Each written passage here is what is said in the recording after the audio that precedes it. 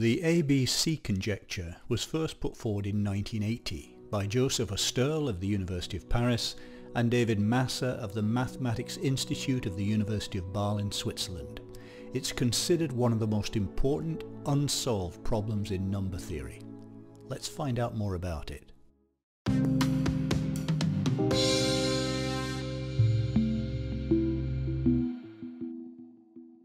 If the ABC conjecture were proved correct, the proofs of many other famous conjectures and theorems would follow immediately, in some cases in just a few lines.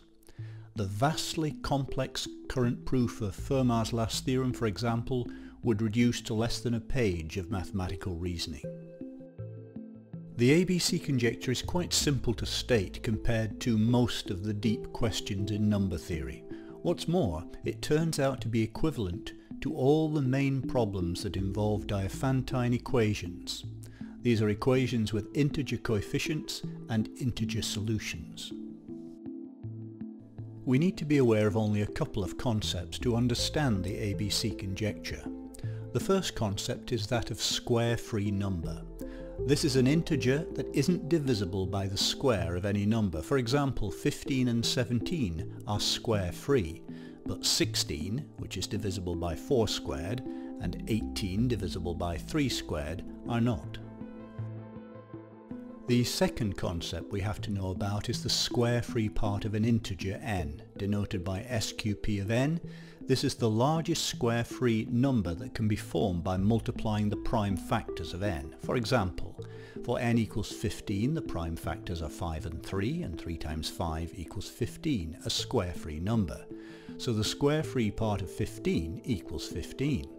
On the other hand, for n equals 16, the prime factors are all 2, which means that the square-free part of 16 equals 2. Similarly, square-free part of 17 is 17, and the square-free part of 18 is 6.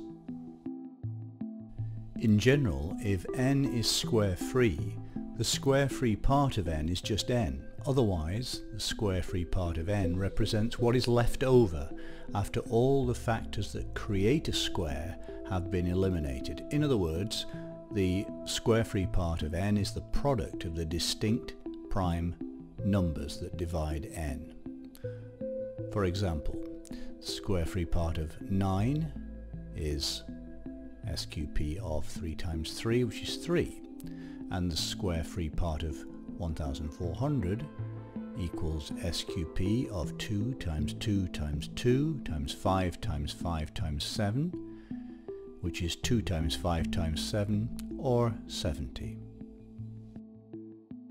The ABC conjecture deals with pairs of numbers that have no common factors. Suppose A and B are two such numbers and that C is their sum. For example, if A equals 3 and B equals 7, then C equals 3 plus 7 or 10.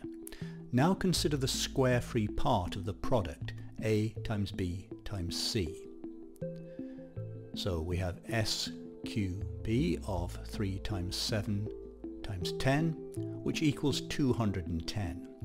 For most choices of A and B, the square-free part of ABC is greater than C, as in the example above. In other words, the square-free part of ABC over C is greater than 1. Occasionally, however, this isn't true. For instance, if A equals 1 and B equals 8, then C equals 1 plus 8 or 9, and the square-free part of ABC is the square-free part of 1 times 8 times 9, which is the square-free part of 1 times 2 times 2 times 2 times 3 times 3, which equals 1 times 2 times 3, or 6. And in this case, SQP of ABC over C equals 6 over 9 or 2 over 3. Similarly, if A equals 3 and B equals 125, the ratio is 15 over 64. And if A equals 1 and B equals 512, the ratio is 2 over 9. David Masser proved that the ratio of the square-free part of ABC over C can get arbitrarily small. In other words, given any number greater than 0 no matter how small, it's possible to find integers a and b for which the square-free part of abc over c is smaller than this number.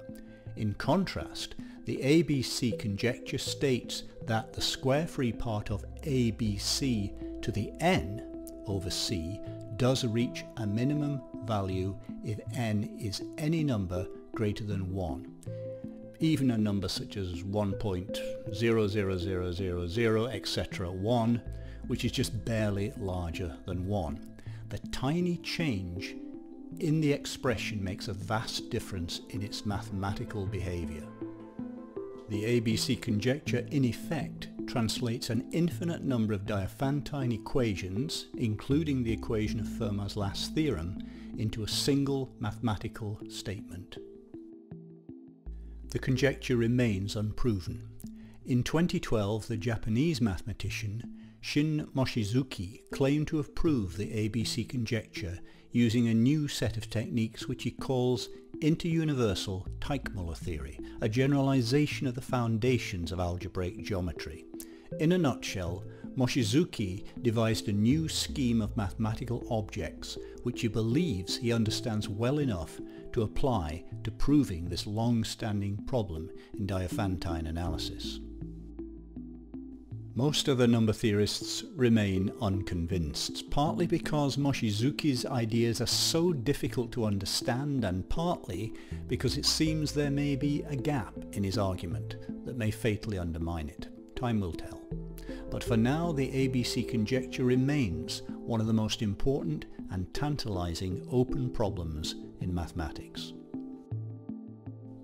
Thanks for watching. As always, if you haven't already, please subscribe to our channel and I'll see you again very soon to discover more maths.